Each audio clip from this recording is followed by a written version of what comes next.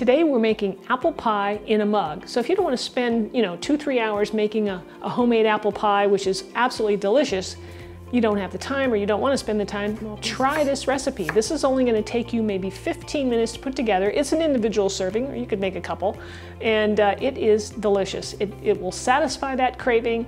The apple filling in this is spiced up with that cinnamon, which is just so good, and then it has a topping that is more cake-like. Now I'm using natural sugars in this and low carb. I'm also going to sneak in a little bit of collagen powder. Now that's optional. So I'm Rockin' Robin, and I'm going to show you all the details right after our chef joke. All right, here's chef joke number one. That means that there might be another one a little bit later. What kind of an apple is not an apple?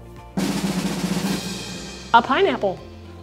So to start off our recipe, you're probably wondering, well, what kind of apples should I use? Well, you can use pretty much anything you want, although I don't particularly like delicious apples for this recipe. And when I make an apple pie, I usually use Granny Smiths or Pippins if you can find them. But in this case, any of the other apples will do. Um, today I'm gonna use a Fuji. You're also gonna need a microwavable mug. So I like to use bigger than I need so that in case it decides to bubble over in the microwave, you don't have a big mess. This mug holds about 12 ounces, but for our video, I'm also gonna be using this smaller one just so you can see the ingredients a little bit better. Okay, so you're gonna start off by peeling your apples. You wanna core them and just slice them down. So that's what I'm gonna do here. And it's about one apple per mug. So we'll go ahead and peel our apples and then I'll slice them into small pieces.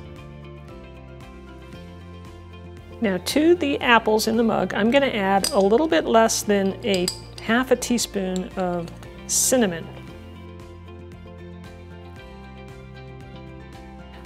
To this, I'm going to add about a teaspoon of applesauce. This is unsweetened applesauce. So to the cup, I'm going to add a tablespoon of coconut sugar. And feel free to sub in any alternative sugars that you like to use. And I'm going to add a quarter of a teaspoon of arrowroot, or you can add cornstarch if you don't have that. And that's going to thicken this up just a little bit so it has more of a little bit thicker sauce. Then you're going to take a spoon and stir that up. So we're to put this in the microwave on high for about a minute. We're going to start with our topping and I have some coconut flour, just a little bit, almond flour. We're going to put all our dry ingredients in the bowl first. Baking powder, that's going to help it rise a little. Just a touch of coconut sugar, just a little teaspoon of that. We don't want too much. And this is my collagen powder. Sneak that in there. And my cinnamon. I got just a little bit of cinnamon here for a little flavor. And we want to mix that up. Once that's combined, then we're going to add all of our wet ingredients. So first up is I have some mashed banana here. And that's going to give our topping some sweetness and a, just a little bit of apple sauce. Next is just a little touch of vanilla extract, which also enhances the sweetness. And some melted butter. Lots of good flavors going on in here. And I don't want to forget, I just a, just a pinch of salt. Now I'm going to start off by mixing this up and we're going to be adding some almond milk just to get it to mix in. So I'm going to add about a tablespoon of almond milk to this to start. And that looks real good to me. So we get all that mixed up together. And we're going to place this on top of our apples.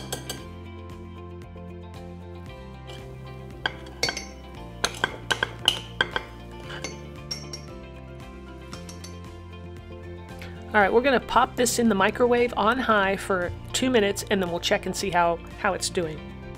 All right, I'm gonna sneak in another chef joke for you. What kind of apples throw the best parties? Gala apples. Now when you take it out after two minutes, you're want to see the sides of the crust pulling away from the side of the mug. And sometimes you have to cook it a little bit longer, so you might want to go maybe another 30 seconds or maybe even another minute. So check this cake topping out. It's somewhat cake-like, but it's also can be kind of gooey as well, depending on how you like it. If you like it more cake-like, cook it a little bit on the longer side, and if you like it a little more gooey, go for the shorter cooking time. Overall, that cinnamony flavor is awesome.